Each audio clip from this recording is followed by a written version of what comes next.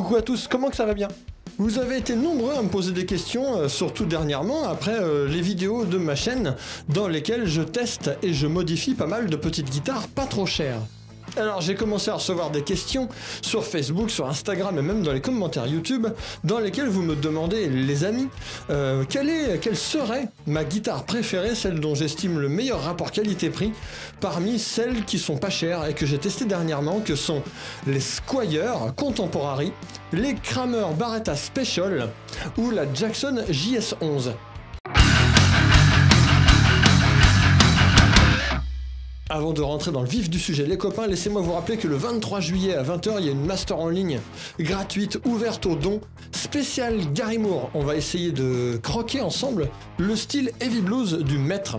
Pour ceux qui aiment bien se déplacer et se voir en vrai, il y a le 20 août à Paris, et oui, pour ceux qui ne partent pas en vacances, une master spéciale rythmique métal avec le travail du placement, du downstroke, avec plein d'exercices, une tonne d'exos dans le style hard, heavy et thrash metal, pour chez vous, pour vous entraîner à tenir le coup en rythmique. C'est à Paris, dans le 14e, de 14h à 19h. Vous pouvez réserver votre place à neogeofanatic.hotmail.fr. C'est pour tous les niveaux le lendemain, le dimanche, et oui, pas de repos pour les métalleux, le dimanche 21 août, je suis à Chartres au studio Jack in the Box pour une masterclass spécial Maiden. Pareil, 14h-19h, vous pouvez réserver votre place pour bosser le style de Dave Murray et celui d'Adrian Smith, aussi bien en solo qu'en rythmique. Donc n'hésitez pas les copains. Il y a aussi à la rentrée le 10 septembre avec l'ami Tanguy Kerleroux, une master parisienne sur le jeu solo à la guitare électrique. Là, cette fois-ci, c'est Tanguy qui gère la master. Vous pouvez euh, réserver votre place à tanguykerlerouband.gmail.com. Alors, revenons à nos moutons, ou plutôt à nos guitares. Alors vous allez me dire, mais Nono, tu vas comparer des guitares que tu dis pas cher, mais tu les as modifiées, t'as mis des micros, t'as changé les pontets, tout ça, machin. Eh oui, mais je trouve ça quand même pertinent parce que dans le domaine des guitares semi-pro, parce que je pense qu'elles ont atteint le niveau de semi-pro, j'essaie de déterminer eh ben, quelle meilleure guitare pourrait euh, eh accueillir justement ce genre de customisation. Et à leur échelle, eh bien, ce sont des guitares que j'estime comparables dans le même budget. À part peut-être la Squire Contemporary qui euh, euh, eh bien, est d'un prix approximatif de 330-340 euros. Mais ça, on va en parler, bah, parce qu'il y a un Floyd. Alors ces guitares, je vais euh, tout simplement vous en faire la démonstration les unes après les autres avec un petit backing track final d'exemple, mais je vais vous les présenter rapidement. Cette Kramer Barata Special qui coûte 179 euros et sur laquelle eh j'ai mis un Seymour Duncan HS4, j'ai juste changé les pontets et les mécaniques, j'ai mis la marque Music Lily, pas trop cher. Donc ça c'est la Kramer Barata Special avec donc un seul micro extrêmement typé années 80. Autre guitare donc typée années 80, il s'agit donc de la Squire Contemporary, euh, qui celle-ci eh bien euh, m'a coûté 349 euros. Et euh, j'ai installé des Euterpes Super Heavy dessus et j'ai changé que ça sur cette guitare, uniquement les Euterpes Super Heavy. Et nous avons la troisième donc qui est une Jackson JS11 sur laquelle j'ai changé les pontets pour mettre des pontets dorés ainsi que les mécaniques, toutes les deux euh, chez Music Lily, et j'ai mis euh, mes euh, Neoland signature SP Custom. Et du coup, bah, je vous fais écouter ce que ça donne dans le match.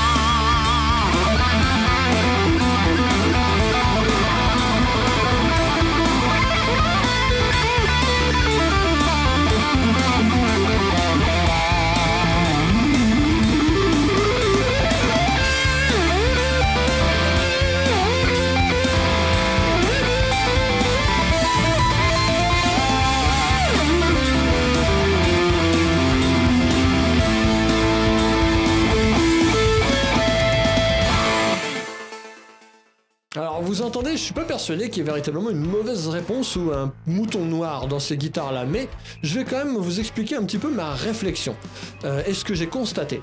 Les Kramer Pacer Special sont super top, elles ont un mojo 80s d'enfer, mais j'ai quand même constaté, euh, pour en avoir trois euh, de la même série, parce que Kramer m'en a envoyé trois tout simplement, eh bien que c'est celle qui a dû subir le plus de modifications et d'optimisation en termes de réglage et de petites, euh, comment dire, de, petits ajustements en termes de jeu. Sur les trois guitares, j'ai dû faire une petite planif dynamique pour rattraper certains dead spots, notamment enlever un petit peu de matière sur certaines frettes où ça frisait un petit peu.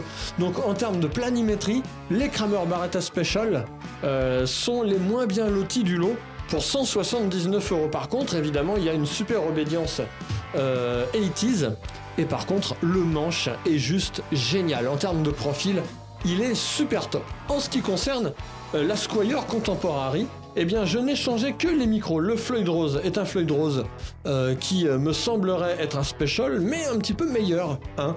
En termes de tenue d'accord, eh ben, c'est quand même le top. Le profil de manche est assez balèze. Voilà, sur ces Squire là. donc ça s'adresse un petit peu moins à tout le monde que le profil de manche de la Barretta Special. Par contre, la qualité du fretage est absolument parfaite. J'ai deux Squire de cet ordre-là, j'ai celle-là et puis la rose, et je n'ai absolument rien retouché sur le fretage, c'est juste impeccable. Le manche est génial aussi, avec une stabilité d'accord terrible, avec un manche en érable torréfié. Donc celle-là, elle est vraiment nickel, j'ai vraiment juste changé le micro et ça en fait une fusée. Par contre, elle est à 349 euros, donc c'est quand même bah, deux fois plus cher qu'une Barretta Special. Mon vote va tout simplement à la Jackson JS11. Pour quelle raison? Eh bien c'est tout simple. Euh, même si je n'avais pas changé les pontets ou les mécaniques pour euh, une envie de look, tout simplement, parce que j'adore le look doré que ça donne avec le rouge et le noir, eh bien ça aura quand même été impeccable en termes de tenue d'accord et de qualité de matériaux. Euh, c'est la seule guitare des trois que je n'ai absolument quasiment pas du tout modifiée sur celle-là j'ai quasi rien fait. Et elle m'a coûté 149 euros. Eh ben honnêtement, pour 149 euros, les frais sont super, la planimétrie est impeccable, euh, le confort de jeu est top et le profil de manche est un petit peu à mi-chemin entre la Barretta Special et la Squire Contemporary dans le sens où il est ni trop fin ni trop épais. Il est un petit peu parfait quoi. Il n'y a aucune aspérité sur les bords euh, de fret. Euh, rien du tout qui me permette de deviner que cette guitare-là fait 149 balles. Voilà les copains, j'espère que je vous ai pas barbé avec ces explications, mais ça m'a permis de répondre à une question vraiment récurrente sur les réseaux et en MP que vous m'avez envoyé. Donc, si je devais vraiment vous conseiller une gratte euh, comme base évolutive pour vraiment ne pas hésiter à mettre une paire de micros chers, même si la Kramer est super et la Squire est géniale, euh, eh bien, je pense que pour 149 balles, la JS11 est vraiment un super plan. Alors je ne me suis pas renseigné vis-à-vis des évolutions des prix et de l'augmentation des tarifs dernièrement avec tout ce qui est guerre en Ukraine. Euh, donc je ne sais pas trop, je peux juste vous dire le prix que je les ai payés au moment où je les ai achetés, ces guitares-là. Voilà les amis, c'est fini pour aujourd'hui, je vous donne rendez-vous à une prochaine vidéo. N'hésitez pas à revoir tous les événements que je vous propose en masterclass en ligne ou euh, en vrai dans une salle euh, qui sera dédiée à l'occasion pour que l'on se voit enfin tous ensemble dans la section événements de mon site neogéofanatique.fr. Sur ce les copains, je vous fais des bisous, bonne gratte et à plus, bye bye